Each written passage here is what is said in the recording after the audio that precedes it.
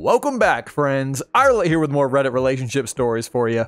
So he's 51 and his wife is 48. He says, My wife and I have been married for 28 years. Our marriage had been relatively good for most of that time, or at least I thought it was. We have five kids, aged 15 to 26. She was a stay at home mom for about 23 years. For the last five years, she's gone back to work. About eight years ago, my wife left our religion. I tried to support her the best I could while staying faithful myself, but she began to resent that I didn't leave with her. She claimed I wouldn't listen to her arguments because she was a woman, and that wasn't true, but I did and do feel strongly about staying in the faith. She also had complaints about me not helping enough with the kids and chores, etc., which I must agree, that is true. I definitely could have done more there. I struggle with deep negative thoughts and have been on medication for the past 15 years. Still, I had a lot of, quote, low energy according to my wife, and she would complain that it was bringing her down. Beyond those complaints, I felt we were much like a lot of the other couples with some minor problems but still in a loving relationship. Apparently, the minor problems we had were more of an issue for her. She began going to a therapist, a 50 year old guy, about six years ago, and a little later I began seeing him too, but individually. Several of our kids also saw him, and he was really good for them. I didn't go to see him very regularly, but I thought he was a nice guy, and he and a psychiatrist on staff would adjust my medications, which made me feel I was doing better. Recently, my wife began acting really strangely. It started with some late night phone calls that she would take in our home office. I assumed she was talking with her sister or mother, as she often would, just not that late at night normally. One day, she sat me down and told me that she thought our marriage was in trouble, but didn't want to get a divorce. Yeah, they never do. Gotta keep that gravy train running. This shocked me, but I assured her I wanted her to be happy and that we would work on things and start some couples counseling. I thought I had some time to improve my own behavior and start the counseling. Then she started staying out late at night, telling me she was visiting a friend who was having problems, and I wasn't worried about this at first, but it happened several nights in a row, and she wouldn't come home until midnight or later. Uh oh. This raised some red flags because she worked early in the morning and she strongly guarded her sleep time, but she assured me that she was just visiting her friend. We had a family tracking app on our phones that we mainly used to check our children, but we could track each other too.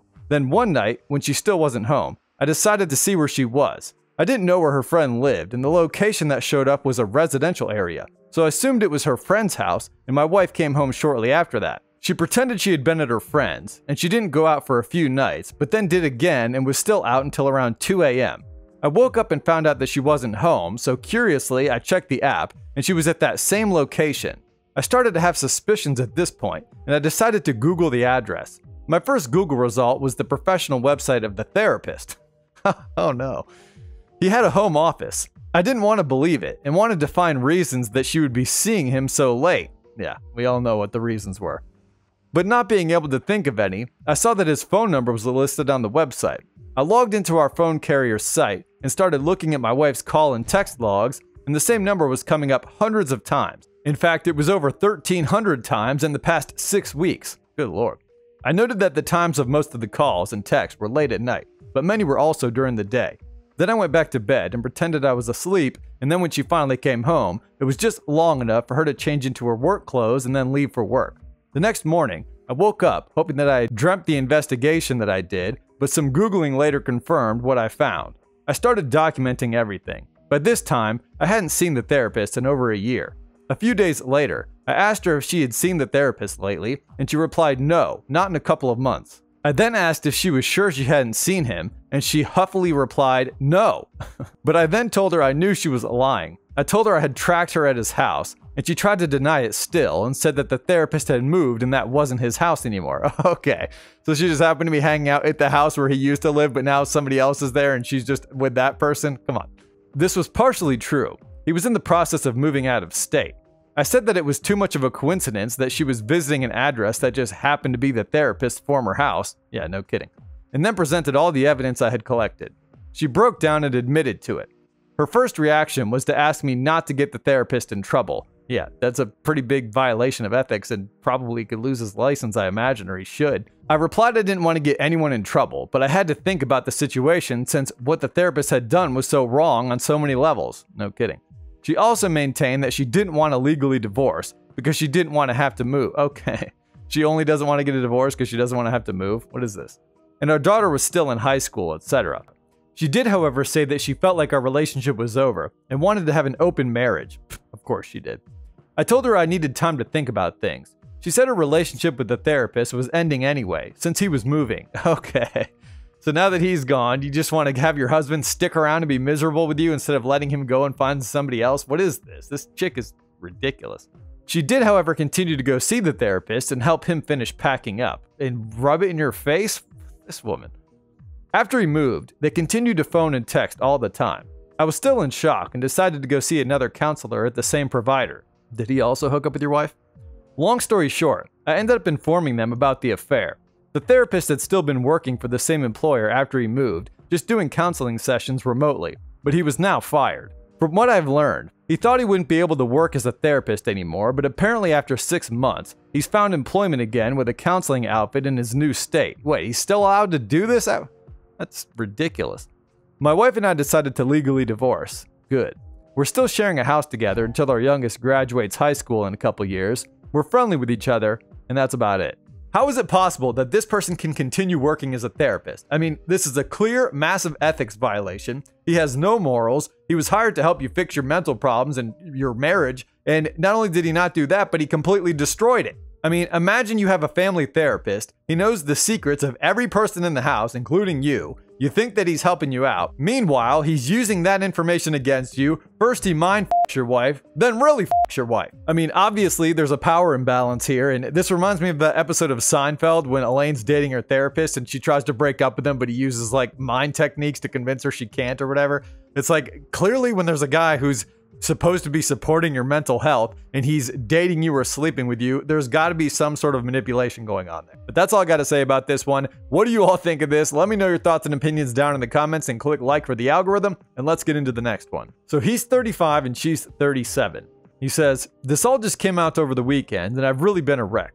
I'm not sure how to handle the information I just discovered about my wife. She was 24 when we met. I was 22. We were both in school and she was in a relationship with her boyfriend at the time. They'd been together for five years. We became friends through school and had to work on a few assignments together, but initially everything was just platonic. I remember asking her about her boyfriend, and she explained to me that they'd been together since she was 19, so together for five years. But she felt like the relationship by that point was over in her mind. They weren't intimate much, and he was somewhat emotionally abusive. Yeah, of course. They always say this. He dictated all of her outfits, told her she was too fat. She wasn't and always showed her other women and how he'd rather be with them. Yeah, well, maybe she was, and he just. I'm kidding. Anyway, he even cheated on her a few times and was openly dating other women near the end of their relationship. Yeah, well, then why'd she stick it out with him? She called me one day as a friend to complain about what was going on. She told me that he had told her he wanted to explore other women and felt like they should break up. I thought he was already doing that without her permission. What? This isn't making a lot of sense. She was pretty upset. Even though he was treating her terribly. She was upset. So he was already seeing all these other women. Now he's telling her he wants permission to see other women, even though he already was. She, he treated her like complete garbage. She thought the relationship was over, yet now she's upset that he doesn't want to be with her anymore, that he wants to see other women, which he was already doing. Nothing you've said here about what this woman was telling you makes any sense. But he continues I took her out for lunch and basically just listened to her and supported her as a friend. That's exactly what she wanted to do manipulate you so she could cheat on her boyfriend or whatever, I guarantee it. The next week, she called me again, this time to let me know that he had dumped her and he was moving out of the house they shared. I was a young dude at the time and thought, hey, perfect, I'll be a rebound and try to get with her. Crappy on my part, but as a 22 year old guy, I didn't care. My friend, when a girl has a terrible boyfriend, even though he probably wasn't really that terrible to her, but once they're officially over and you feel like you want to move in to try to get with her, that doesn't make you a bad guy. And you thinking that it does right here shows me how naive you are. It's not as if you were trying to steal her from him. They were already done. And for you to try to be with her after the fact is like, come on, my friend, you're being too nice of a guy here. But anyway, he says, I took her out for dinner and we started having regular dates. They still lived together, and our conversations were heavily centered around her breaking up with in the drama that it entailed. Okay. You were dating her while she was living with a guy? I would have thought she wasn't really officially done with the guy if she's living with him, but whatever. I'd pick her up from their house and we'd go hang out. This went on for a few weeks, and we ended up sleeping together one night when I brought her back to my place. After that, I really started to develop feelings.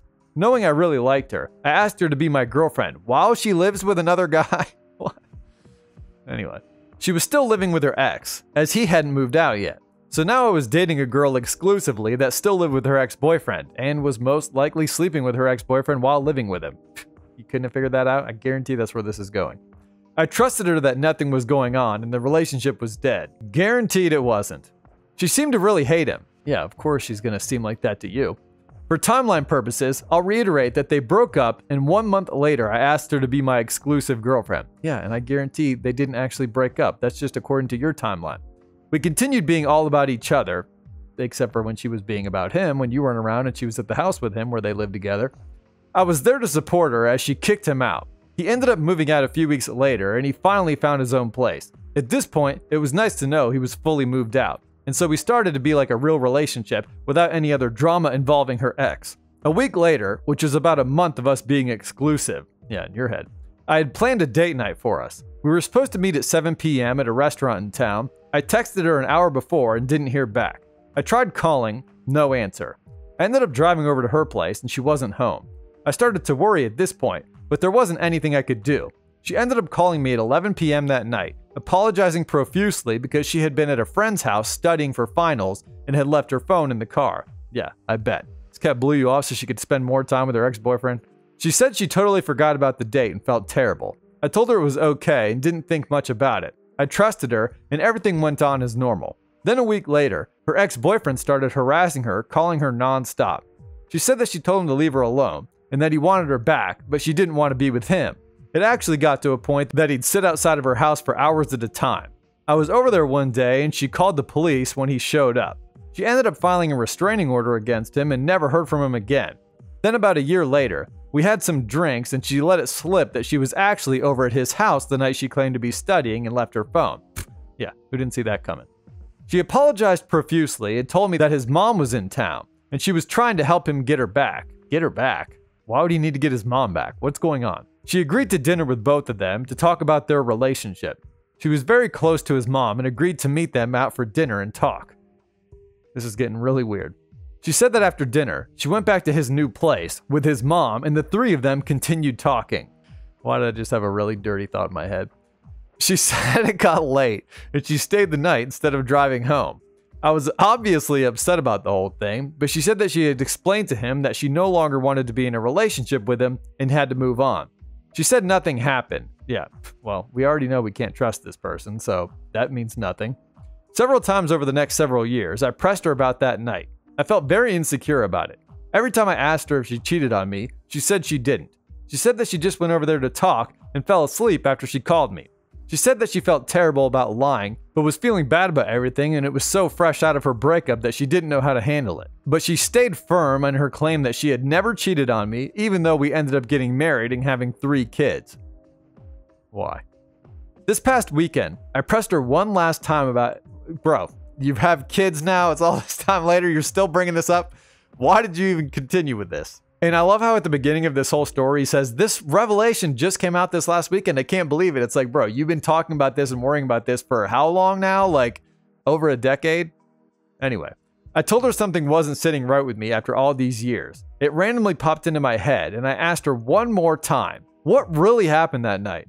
I'm not sure if I believe you because it really just doesn't make sense. Yeah, nothing about this makes sense. And also, side note, I've said this many times on this channel that this is why when someone cheats or when someone betrays you in some way, granted, she didn't fully admit it, but it was pretty obvious. You can never forgive them and try to move forward because exactly what this guy's describing is what happens to most people. They keep replaying things in their head over and over and over for years, can never get over it, and can never have a truly strong relationship because they just can't stop thinking about the time they were betrayed. But anyway, he continues. She broke down crying, and I knew it. She explained to me that she never wanted to tell me the truth. Yeah, they never do. She said that she did go over to his house with him and his mom, but his mom ended up leaving and they sat and talked about their relationship for a bit. She said that one thing led to another and they ended up having you know what on the sofa. She even gave you the details of where it went down.